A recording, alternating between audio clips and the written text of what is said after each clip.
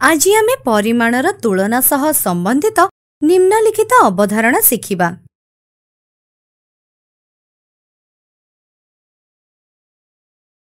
ଏହି ବାକ୍ସରେ ଅଠରଟି ନାଲି ବଲ୍ ଓ ଛଅଟି ଧଳା ବଲ୍ ଅଛି। ଯଦି ଆପଣଙ୍କୁ ଏହି ସଂଖ୍ୟାଗୁଡ଼ିକୁ ତୁଳନା କରିବାକୁ କୁହାଯାଏ ଆପଣ ଏହା କିପରି କରିବେ?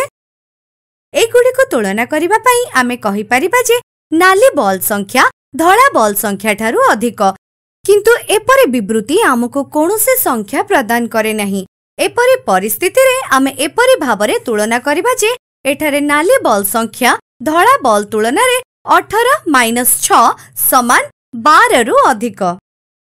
ସେହିଭଳି ଆମେ ସେମାନଙ୍କୁ ବିଭାଜନ ଦ୍ୱାରା ମଧ୍ୟ ତୁଳନା କରିପାରିବା। ଏଠାରେ ନାଲି ବଲ୍ ସଂଖ୍ୟା ବିଭକ୍ତ ଧଳା ବଲ୍ ସଂଖ୍ୟା ସମାନ ଅଠର ହରଣ ଛଅ ଆମେ ଏହାକୁ ଅଠର ବିଭକ୍ତ ଛଅ ଭାବରେ ମଧ୍ୟ ଲେଖିପାରିବା।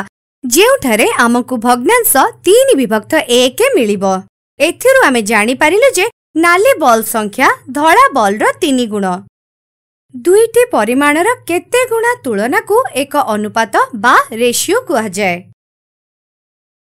ଏହି ଉପାୟରେ ଆମେ କହିପାରିବା କି ନାଲି ବଲ୍ ସଂଖ୍ୟା ଓ ଧଳା ବଲ୍ ସଂଖ୍ୟାର ଅନୁପାତ ତିନି ଅନୁପାତ ଏକ ଅଟେ। ଯାହାର ଅର୍ଥ ଗୋଟିଏ ଧଳା ବଲ୍ ତୁଳନାରେ ତିନୋଟି ନାଲି ବଲ୍ ରହିଛି।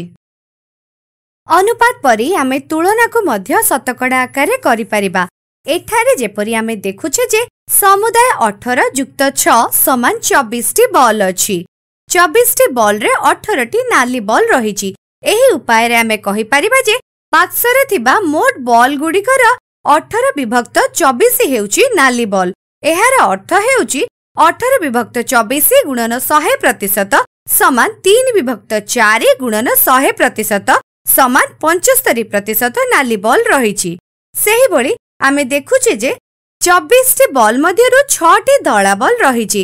ଏହାର ଅର୍ଥ ବାକ୍ସରେ ଛଅ ବିଭକ୍ତ ଚବିଶ ଗୁଣନ ଶହେ ପ୍ରତିଶତ ସମାନ ଏକ ବିଭକ୍ତ ଚାରି ଗୁଣନ ଶହେ ପ୍ରତିଶତ ସମାନ ପଚିଶ ପ୍ରତିଶତ ଧଳା ବଲ୍ ରହିଛି। ଧ୍ୟାନ ଦିଅନ୍ତୁ ଯେ ଏହି ଦୁଇଟି କ୍ଷେତ୍ରରେ ଆମେ ଏକକ ପଦ୍ଧତି ବ୍ୟବହାର କରିଛୁ ଧ୍ୟାନ ରଖନ୍ତୁ ଯେ ପ୍ରତିଶତର ଏହି ଚିହ୍ନ ଏକ ଶତକଡ଼ାକୁ ଦର୍ଶାଏ ଅର୍ଥାତ୍ ଏକ ବିଭକ୍ତ ଶହେ ଏହି ଉପାୟରେ ଯେତେବେଳେ ଆମେ ଶହେ ପ୍ରତିଶତ କହିବା ଏହାର ଅର୍ଥ ଶହେ ଗୁଣନ ଏକ ବିଭକ୍ତ ଶହେ ସମାନ ଏକ ତେଣୁ ଏଠାରେ ସଂଖ୍ୟାର ମୂଲ୍ୟରେ କୌଣସି ପରିବର୍ତ୍ତନ ହୁଏ ନାହିଁ ଏବଂ ଆମେ ସଂଖ୍ୟାକୁ ଶତକଡ଼ାରେ ପ୍ରକାଶ କରିପାରୁ ଶତକଡ଼ାରେ ପ୍ରକାଶ କରିବାକୁ ଆମକୁ ସଂଖ୍ୟା ଜାଣିବା ଜରୁରୀ ନୁହେଁ ବରଂ ଅନୁପାତ ସାହାଯ୍ୟରେ ବି ଆମେ ଶତକଡ଼ା ପାଇପାରିବା। ଉଦାହରଣ ଏଠାରେ ନାଲି ବଲ୍ ଓ ଧଳା ବଲ୍ ସଂଖ୍ୟାର ଅନୁପାତ ତିନି ଅନୁପାତ ଏକ ଅଟେ। ଏଥିରୁ ଆମେ ଜାଣୁ ଯେ ପ୍ରତ୍ୟେକ ତିନି ଯୁକ୍ତ ଏକ ସମାନ ଚାରି ବଲ୍ରେ ତିନୋଟି ନାଲି ବଲ୍ ଏବଂ ଗୋଟିଏ ଧଳା ବଲ୍ ରହିଛି। ଏହି ଉପାୟରେ ଆମେ କହିପାରିବା ଯେ ବାକ୍ସରେ ତିନି ବିଭକ୍ତ ଚାରି ଗୁଣନ ଶହେ ପ୍ରତିଶତ ସମାନ ପଞ୍ଚସ୍ତରୀ ପ୍ରତିଶତ ନାଲି ବଲ୍ ରହିଛି ଏବଂ ବାକ୍ସରେ ଏକ ବିଭକ୍ତ ଚାରି ଗୁଣନ ଶହେ ପ୍ରତିଶତ ସମାନ ପଚିଶ ପ୍ରତିଶତ ଧଳା ବଲ୍ ରହିଛି। ଆମେ ଏହାକୁ ଅନ୍ୟ ଏକ ଉପାୟରେ ମଧ୍ୟ ପ୍ରକାଶ କରିପାରିବା।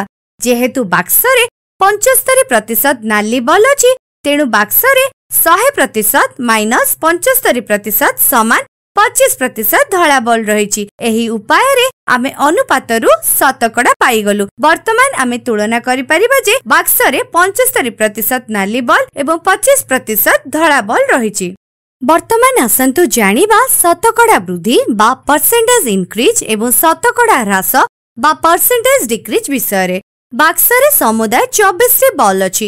ଏଥିରେ ଆମେ ଆଉ କିଛି ଧଳା ବଲ୍ ରଖିଦେଲୁ ଯାହା ଫଳରେ ସମୁଦାୟ ବଲ୍ ସଂଖ୍ୟା ଛତିଶକୁ ବୃଦ୍ଧି ପାଇଲା ଏହିପରି ଏଠାରେ ସମୁଦାୟ ବଲ୍ ସଂଖ୍ୟାରେ ଛତିଶ ମାଇନସ୍ ଚବିଶ ସମାନ ବାର ବୃଦ୍ଧି ହେଲା ଯଥା ବାରଟି ଅତିରିକ୍ତ ଧଳା ବଲ୍ ରଖାଗଲା ଯେହେତୁ ମୂଳ ସଂଖ୍ୟାରେ ବୃଦ୍ଧି ବା ଇନକ୍ରିଜ୍ ଘଟିଛି ଏଥିପାଇଁ ଆମେ ମୂଳ ସଂଖ୍ୟାକୁ ଆଧାର ଭାବେ ଗ୍ରହଣ କରିବୁ ଏହିପରି ଶତକଡ଼ା ବୃଦ୍ଧି ହେବ ବୃଦ୍ଧି ବିଭକ୍ତ ମୂଳ ସଂଖ୍ୟା ଗୁଣନ ଶହେ ପ୍ରତିଶତ ଏଠାରେ ସେହିପରି ବାର ବିଭକ୍ତ ଚବିଶ ଗୁଣନ ଶହେ ପ୍ରତିଶତ ସମାନ ଏକ ବିଭକ୍ତ ଦୁଇ ଗୁଣନ ଶହେ ପ୍ରତିଶତ ସମାନ ପଚାଶ ପ୍ରତିଶତ ଏଥିରୁ ଆମେ ଜାଣିପାରୁଛୁ ଯେ ମୋଟ ବଲ୍ ସଂଖ୍ୟା ପଚାଶ ପ୍ରତିଶତ ବୃଦ୍ଧି ପାଇଛି ବର୍ତ୍ତମାନ ବାକ୍ସରେ ଥିବା ମୋଟ ଚବିଶଟି ବଲ୍ ମଧ୍ୟରୁ ଆମେ ଛଅଟି ନାଲି ବଲ୍ ବାହାର କରି ନେଇଛୁ ଯାହା ଫଳରେ ବର୍ତ୍ତମାନ ମୋଟ ବଲ୍ ସଂଖ୍ୟା ଅଠର ହୋଇସାରିଛି ଅର୍ଥାତ୍ ବର୍ତ୍ତମାନ ବଲ୍ ସଂଖ୍ୟାରେ ଛଅଟି ବଲ୍ ହ୍ରାସ ପାଇଛି